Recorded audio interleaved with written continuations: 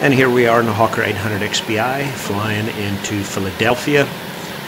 It's an RNAV approach with some gusty and windy conditions. Going to be the RNAV runway 27 right approach. Let's see what we have. Uh, 27 right, effective 11 February. We have final approach course is 268 uh, Jalto as the final approach fix with a decision altitude of 267 for the LPV, which we're legal to do in the US. But other than that, it will be the LNAV VNAV at 520. For the missed, it's going to be a climb 3000 direct to direct landing on the two minute track. Babbies, MALSR lights, any questions? As you might have just heard, we uh, briefed the approach, the RNAV approach. It is visual conditions. We still brief the approach. We still fly the approach. We've all heard of CFIT accidents at night, aircraft flying into hills and mountains at night, even though it was perfectly perfect VFR conditions. That is part of the reason we do this. It also avoids confusion, especially with other airports in the area, that we it's one way to ensure that we are actually lined up for the correct runway and the correct uh, airport. So yes, we fly the approach.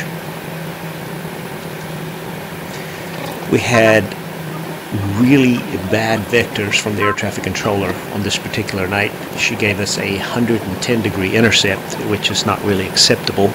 Even a 90 degree intercept is not ideal for any autopilot or any FMS especially on an approach. You would you'll probably hear the autopilot kick off and uh, the flight director start dancing around if you look down at the flight director. And that's because we start hand flying because that was the best option at that time. And that's why it's very important not to lose your hand flying instrument skills. It's pretty gusty winds are. We had pretty much a direct crosswind there for most of the way down. You'll see the airplane is in a pretty good crab till we get way down the approach. On this particular night, we had two options of runways. One was really close to the FBO, which was less than a minute taxi, and the other one was about five to six minutes taxi. We elected the runway with the longer taxi because it was a longer runway and the patient was a very sensitive patient that we had on board. We we try to minimize any amount of shock or shaking with this patient. So a smooth landing would have been ideal with this patient. So we went for the longer runway, so we had a little bit more uh, room to nurse the airplane onto the ground.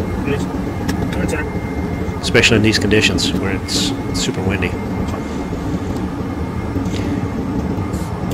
You might have noticed that we came over a river. That was the uh, Delaware River outside of Philadelphia. It runs through downtown, past downtown. Huh? You No, it was past 90 degrees.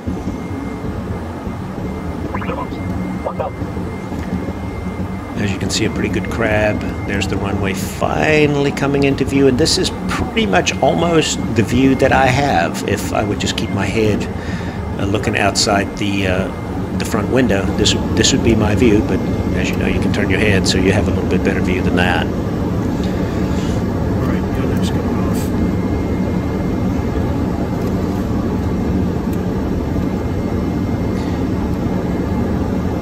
Five hundred. There we are. The aircraft stable.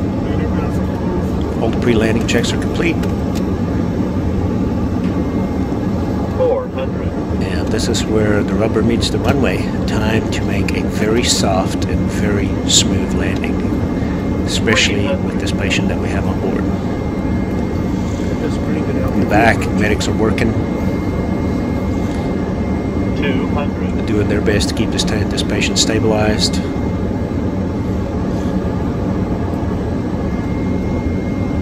100,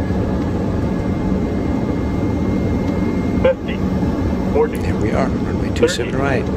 20, 10. Gotta sneak that airplane onto the runway.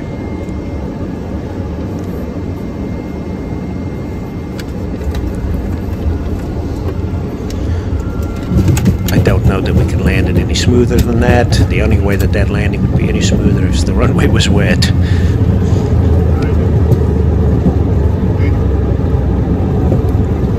Hope you all enjoyed the video. Thank you for watching. Please don't forget to hit the like button. Here we are, high-speed exit, heading to the FBO. Thanks again.